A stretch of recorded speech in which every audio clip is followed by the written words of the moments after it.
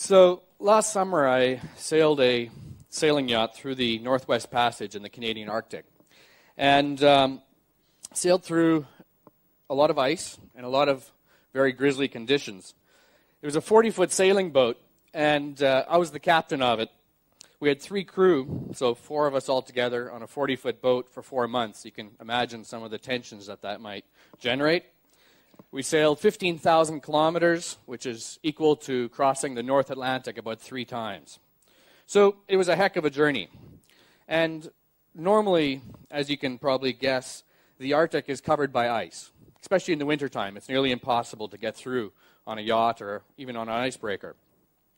In the summertime, there's also a lot of ice in the Arctic, but um, in, historically, for mariners to get through the Arctic has been a great challenge because of the ice. You may have heard of Sir John Franklin, a British captain who went up into the Arctic with two ships trying to find the passage that I ended up sailing. He went up there with two ships and 128 men. He was frozen into the ice, and uh, Franklin's men started eating each other in an attempt to survive, and they failed. They all died, and their ship sank. Well, climate change has changed all that it's no longer quite as hard to get through the Northwest Passage as it used to be. The sea ice is melting more and more every year because of climate change. And it's become much easier to get through the Northwest Passage now than it used to be. You can now be confident when you leave Victoria, like I did, that you're going to be able to get through the Arctic in one summer. You can be confident. It's not surefire, but you can be fairly confident you'll be able to get through in one summer. So it's a grand thing to do. It's a great adventure, especially if you're a sailor such as myself. I love sailing, and this was something that really appealed to me. It's still one of the greatest sailing challenges out there for yachtsmen. And far fewer people have sailed this route than have climbed Everest. So it's a fair sailing challenge, even with climate change, making it a little bit easier. But I'm also a journalist. I'm a very passionate sailor, and I've always been a journalist. And when I started researching this expedition, I realized that I would be sailing through the scene of perhaps one of the greatest stories of our time, which is climate change. And I'd be on the scene. And as a journalist, I couldn't pass that up. And I started researching it, and initially this was supposed to be a chance for me to quit my job and become a sail bum and just kind of hang out on a boat. But very quickly, I created a job for myself which was far harder than anything I'd ever tackled before. And the goal for the expedition became to sail through the Northwest, Northwest Passage, to sail through the Canadian Arctic, and to do that without any assistance, but at the same time, to tell the story of the people that live in the Arctic, and to tell their story of how they are interacting with climate change. That's the story that I want to tell you today. I want to tell you about the people that live at the front line of climate change in the, in the Arctic. Now, I'm going to show you a few pictures in this presentation that you may find a little distasteful or a little gory, and I do apologize, but they do help tell this story. So please don't avert your eyes, just uh, swallow hard. The people that live in the Arctic are called the Inuit. And they are some of the first people in the world to feel climate change in a day to day way in their lives. Here in Hong Kong, especially in this room, we have a lot of very intelligent people that are up with current issues. We all know about climate change. Politicians talk about it a lot. In Hong Kong, maybe it's not discussed enough, but there's a lot of discussion about it. Companies weave climate change into their corporate social responsibility programs, and it's in the public discourse. We all know about it, we read about it, we talk about it. But no one here, when you wake up in the morning, no one here has to do plan their day differently because of climate change. Yes, you may do things to save energy, but climate change is not forcing you to live your life differently than you used to live it. Well, I'd like you to meet Ellen. Ellen is someone whose life is being impacted on a daily basis because of climate change. She is learning to live with climate change. She lives in Wales, Alaska, which is a small village right in the Bering Strait where Russia and Alaska are very close to each other. She lives in this small community. We stopped in there on, with our yacht and visited the hunters that live there. And they told us a lot of stories about how the animals are changing, the land is changing, and it was all very interesting.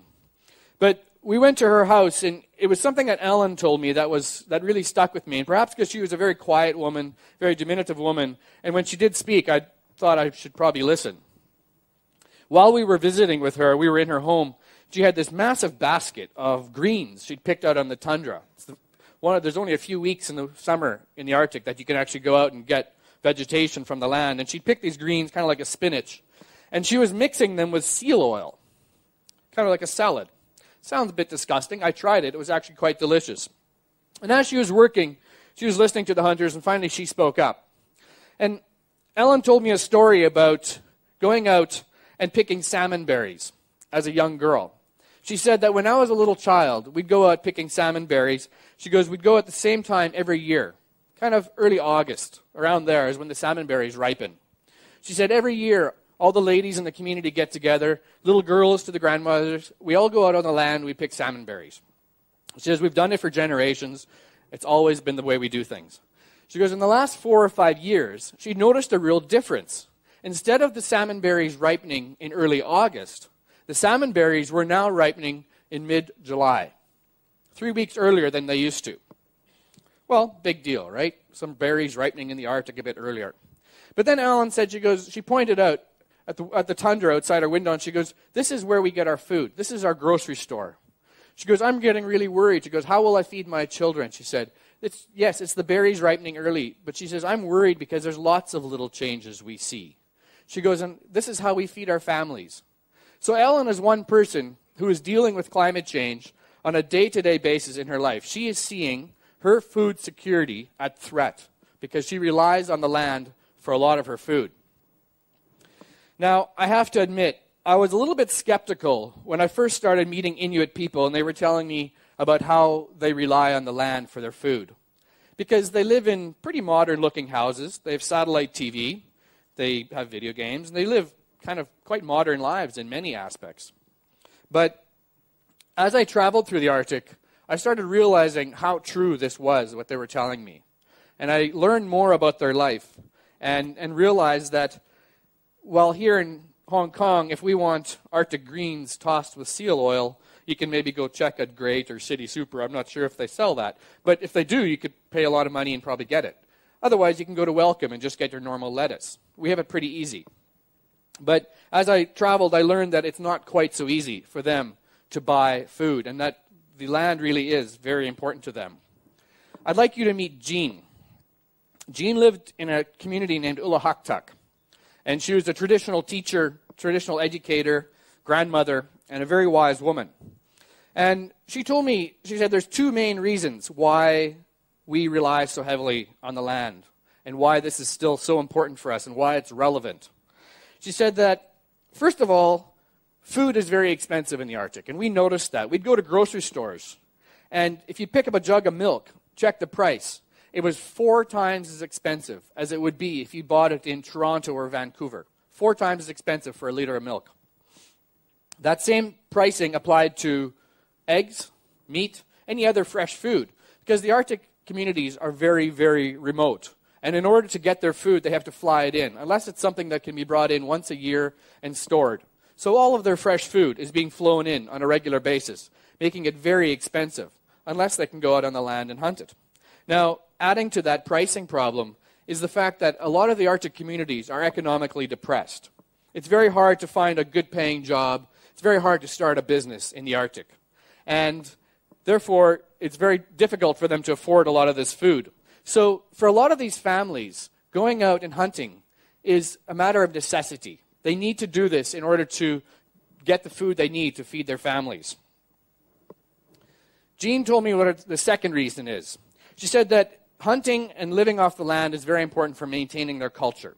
Now, when I was chatting with Jean, she was on the beach with her daughter, Julia, and a little granddaughter named Stina. And they were on the beach and they were skinning seals. Um, their, uh, Jean's husband had just come back, and he'd just come back from seal hunting, and he brought back about a dozen seals. And they were skinning them on the beach as we were chatting. And Jean told me that even the, the kids, they're kind of lost touch with who they are. They've got TV, they've got video games, they've got junk food. They'd sort of forgotten what it meant to be Inuit. And they had lost their ties to their history and to their identity. And a lot of these communities are really struggling with some social issues substance abuse, domestic abuse, and many of these issues can be tied to a lack of identity, a lack of self worth, a lack of pride, because they have lost that connection with the land. And this is especially the case with young men in the communities. So hunting helps restore that, and it helps them remind them who they are and why they live in such a God-forsaken, barren land. It's because they hunt and they're tied to the land, and that is what their identity is. And she said that being able to do things like this, skin seals on the beach with her little three-year-old granddaughter, meant that she could teach her granddaughter about what it meant to be an Inuit. She could speak Inuktitut to her granddaughter and teach her the native language that she'd grown up with. So we know that climate change is threatening the survival of some of the animals in the Arctic. If that's the case, as we know it is, that means that the Inuit culture an Inuit way of life and, the Inuit pride in being Inuit is also at threat because of climate change. Next, I'd like to introduce you to Jacob. Jacob was a 70 year old hunter who lived in a very small community called Gjoa Haven. And he had spent almost his entire life on the land hunting. And when I entered the Arctic, when I set off on this whole expedition and, and bought the boat and dreamt about all this, I had a lot of really romantic ideas of what I was going to find when I got to the Arctic. I had all these romantic notions that I'd picked up reading books. And almost in every case, those romantic notions were smashed. And Arctic life wasn't at all like what I thought it would be. But in this one instance, I found a little bit of what I'd been looking for, a little bit of that stereotype. And so Jacob and his son Silas, they shot two caribou out on the land. And they were really happy because caribou is kind of a delicacy. It's if they can eat caribou all day long, that's what they'll do. Now, now they shot two caribou and they were skinning them out on the land. They were cutting up the meat, and we'd already eaten some caribou earlier in the trip, and we knew it was good. And I was looking at the caribou and thinking, hmm, there's some good steaks for the barbecue later. But Jacob was thinking something very differently, and he wasn't going to wait until later. Can you turn up the volume? You turn up the volume? I'm going to eat it. What does it taste like? So what do we taste? you want to eat Chan? Eat some muscle. This is for your muscle. That's right, you're strong. Took a muscle. Why did you call your dad and tell him if you're eating raw kidneys not? Most people can have. That was raw caribou kidney if you missed that in the beginning. That's not why I introduced you to Jacob. I wanted to tell you about Jacob so I could show you that video, but also because for Jacob, climate change is a matter of life and death. Because Jacob is a hunter, as I told you. Much of the Inuit hunting takes place out on the ice. Because on the ice is where the walruses are, the whales are, the bears, the seals. It's an entire ecosystem out there on the ice. And that's where a lot of the wildlife lives, out at sea on the ice. And for the Inuit, it's very difficult to travel without the ice. It's very difficult to travel on the seas because the seas can be quite rough. In wintertime, they will travel for hundreds of miles to hunt, to go visit relatives in another community, whatever. But wintertime is traveling time on the ice, and, and it's a time when they do a lot of their hunting. Now, Jacob told me a story that a lot of other hunters had mentioned to me already, and that is that well, they used to be able to predict what would happen with the ice and how the ice would break up, particularly in the spring months when some of the, that's when some of the best hunting is to be had. He said that it used to be that we could read the ice. And when they said read the ice, they explained it to me as saying, well, they'd look at the wind, they'd look at the recent temperatures, they might even look at the phase of the moon. And they all, they all had their own kind of system of reading it, but it was a knowledge that had been passed down through the generations. To read the ice and to understand when it was safe, and when it was safe to be on the ice, and when it was time to pack up and go back on shore. Well, that knowledge had, has become irrele- irrelevant because of climate change.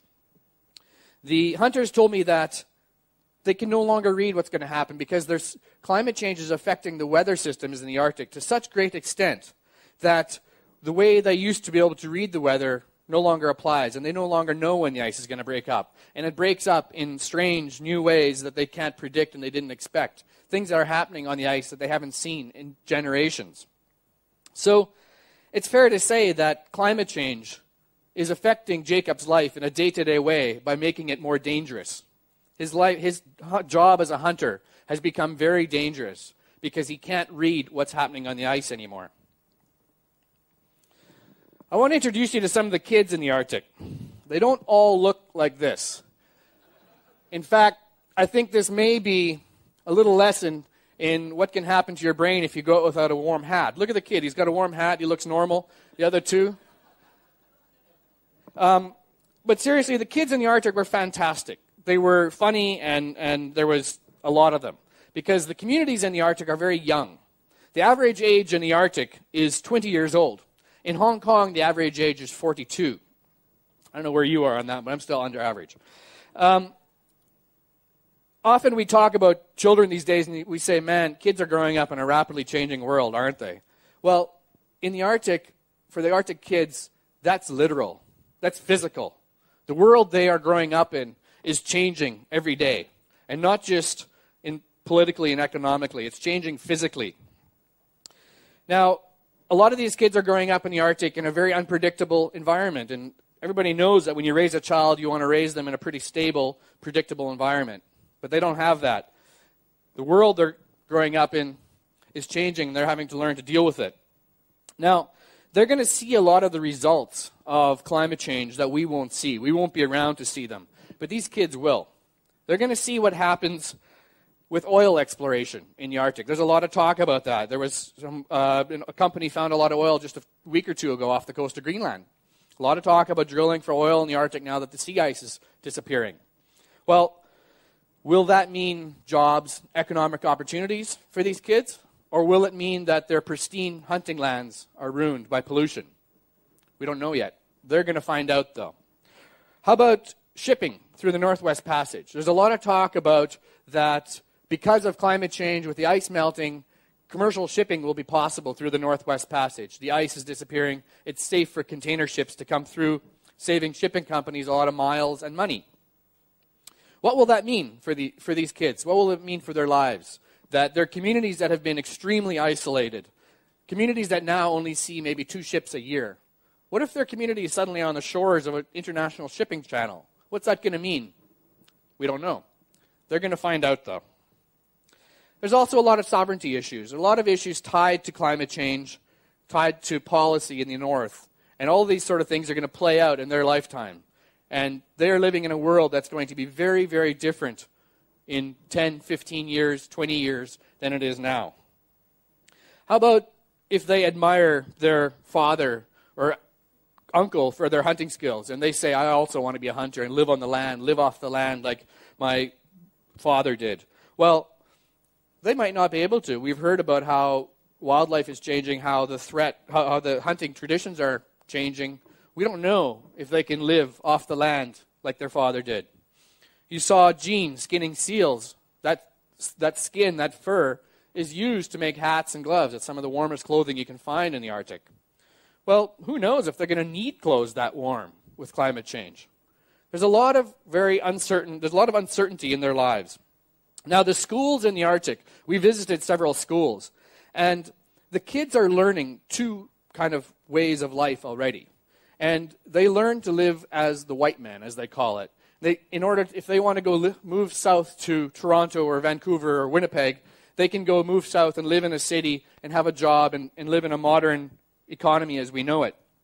But the schools are also teaching them to survive out on the land and survive in the Arctic where they grew up. But one thing the schools can't teach them, one, one kind of lifestyle they can't prepare their children for, is a lifestyle in the Arctic with climate change and all these issues and how they're going to play out because we don't know how they're going to play out. And we don't know what the Arctic's going to be like if climate change continues. We know that it, it's going to change. We know that the ice is going to melt. We know that their life will be very different. But it's very hard to prepare them for that right now. I want to leave you with these four faces and remind you that of Ellen, of Jean, Jacob, and all the kids that are growing up in a very, very uncertain world in the Arctic. Climate change isn't about abstract ideas of economics and politics and policy. It's not just for public discourse. Climate change doesn't just happen in newspapers, it doesn't just happen on TV news. Climate change is happening for real. And it's affecting people's lives. It's not about these economics and policies, it's about people. And it's about how it affects people's lives. So, today, climate change is impacting the Inuit in a day to day way. But if we don't do anything about climate change, tomorrow it'll be here in Hong Kong. It'll be you and I that have to adjust our lives on a day to day basis. So let's think about that when we think about climate change. Thank you.